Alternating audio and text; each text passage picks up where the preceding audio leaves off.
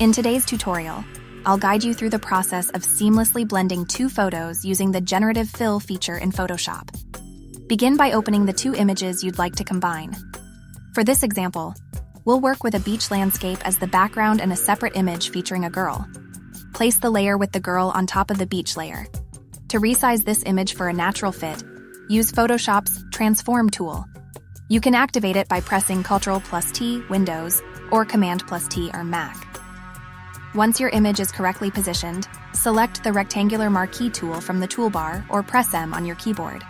Use this tool to delete any unnecessary parts of the image.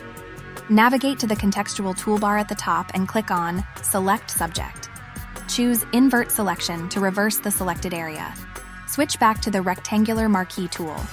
While holding down the Alt key, Windows, or Option key, Mac, delete portions of the inverted selection. Make sure to leave some space near the layer with the girl to facilitate a smooth blend. Navigate to the Generative Fill option. Leave the parameter fields blank and click on Generate.